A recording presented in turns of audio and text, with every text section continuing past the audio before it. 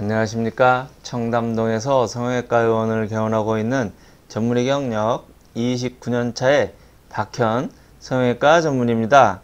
지난번에 나이가 들면서 코가 길어지는 얼굴과 반대로 코가 짧아지면서 콧구멍이 이렇게 정면에서 훤히 보이는 얼굴 비율에 대해 동영상을 올려드렸었는데요.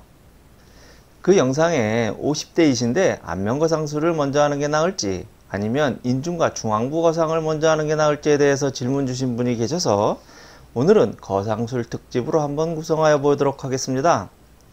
이렇게 예쁜 한국인 여성이 미국에 여행을 하던 중에 맹장염에 걸려서 미국의 병원에 입원을 하여 백인 의사에게 수술을 받건 흑인 의사에게 수술을 받건 맹장 수술하는데 별 어려움이 없겠지만 만약 이 여성분이 이 병원에서 쌍꺼풀 수술을 받는다던가 실리콘 융비술을 받게 된다면 이렇게 좋은 메이오 클리닉이라고 하더라도 수술 결과가 좋을 리 만무하겠는데요.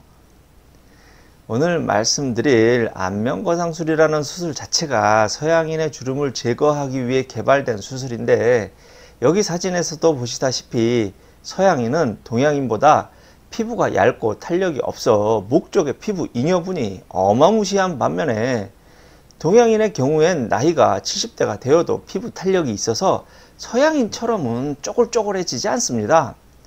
또한 서양인을 옆 얼굴에서 보면 귓구멍에서부터 팔자주름까지의 거리가 귓구멍에서부터 앞볼까지의 거리보다 긴 장두형의 입체적인 얼굴형인데 동양인의 99%의 얼굴은 이와 같이 앞볼이 솟아오른 위치보다 팔자주름이 더 꺼져 있는 납작한 단두형 얼굴입니다.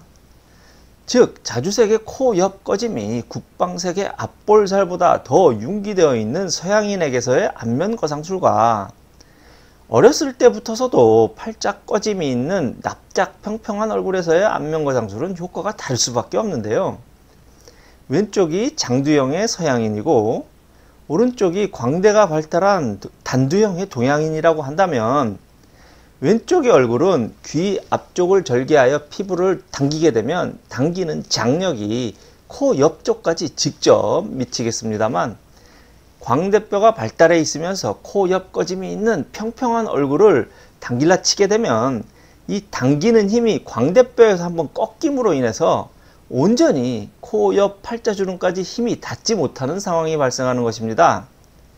즉 서양인이 개발한 안면거상술은 왼쪽의 서양인에서와 같이 입체적인 장두형 얼굴에서는 크게 효과를 보는 수술인 반면에 오른쪽과 같이 널쩍한 동양인에게서는 서양인에 맞게 개발된 안면거상 수술이 서양인보다는 효과가 미진한 것입니다.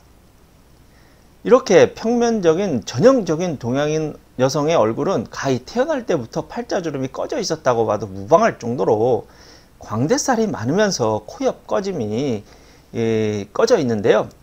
서양인의 안면 거상술의 장력 방향이 이렇다고 한다면 이 여성에서의 안면 거상의 힘의 방향은 이렇게 꺾이게 됨으로써 효과가 훨씬 덜해져 일명 가성비가 떨어지는 수술인 것입니다. 즉 이러한 얼굴에서의 팔자주름 꺼짐은 얼굴이 처져서 생겼다기보다는 팔자 귀족의 함몰로 인한 것입니다. 그러므로 꺼진 팔자주름을 융기시켜주고 또한 입가 마리오네트 주름도 채워주게 되면 상대적으로 앞볼 처짐이 개선되어 보이고 돌출돼 보였던 턱끝도 작아 보이는 이중의 효과를 얻게 되겠습니다. 앞으로 돌아가 이렇게 60대 70대 되신 분들의 경우 얼굴 처지면 안면 거상술 하여 안면 거상술만 해달라고 이렇게 진료를 오시는 경우가 아주 많으신데요. 물론 이렇게 꺾여서라도 귀 앞쪽으로 당기는 것이 아니 당기는 것보다는 훨씬 좋겠습니다만 안면 거상술이라는 수술이 이 양쪽의 두 판을 수술하는 즉 세포들의 회복 프로세스의 그 범위가 넓다는 것으로 보면 이와 같이 편편하면서 팔짝 꺼짐이 있는 경우 이 노란 점선 원 부분을 융기시키는 무용인중 귀족 패키지 중안면 거상술로 교정하게 되면 훨씬 가성비 있는 수술이 되겠습니다.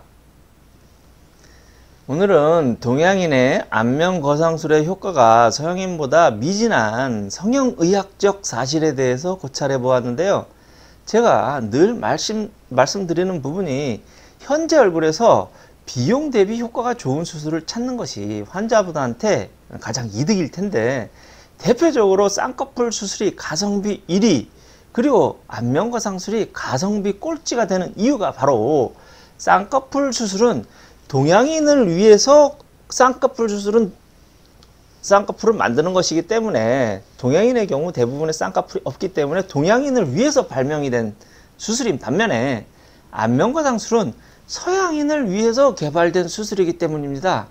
따라서 오늘 질문 주신 분의 경우 우선적으로 귀족 팔자 융기 중앙부 거상술을 먼저 하시고 나중에 안면 거상술을 하시는 것이 훨씬 비용 대비 효과가 좋은 방법이라고 말씀드릴 수 있겠습니다. 감사합니다.